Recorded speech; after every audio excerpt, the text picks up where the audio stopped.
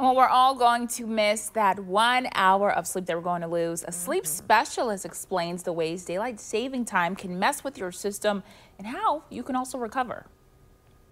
It's that time of year again, and if Spring Forward takes a little pep out of your step, you're not alone.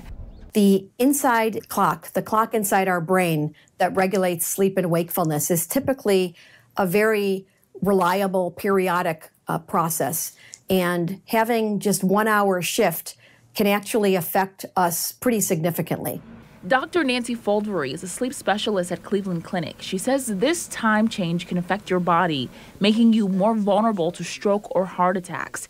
Being sleepy can also cause you to be less alert when driving. All of us have our own vulnerability to circadian rhythm changes. Uh, and some of us can manage in uh, very difficult situations when our sleep structure changes and adapt well, and others cannot.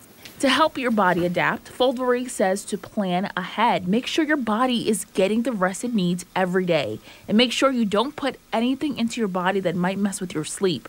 Drinking alcohol or caffeine before bed or eating a big meal late at night may make you miss out on those Z's. We all know how much sleep we need.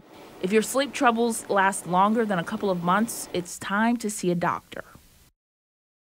The CDC says adults need seven or more hours of sleep every night for the best healing and well being.